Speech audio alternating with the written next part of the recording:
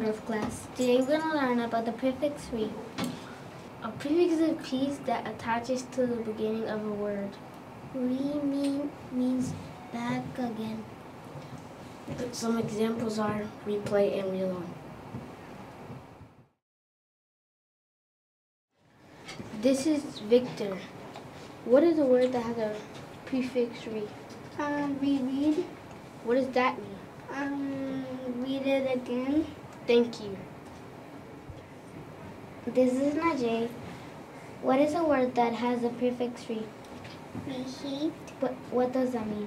Read it again. Thank you. Hey, this is Daniel. Uh, what is a word that has a prefix re? Reset. What does that mean? Set it again. Thank you. This is Jonathan. What, what's a word that has the prefix re? Rewrite. What does that mean? Rewrite again. Thank you. Me means back or again. Now it's your turn.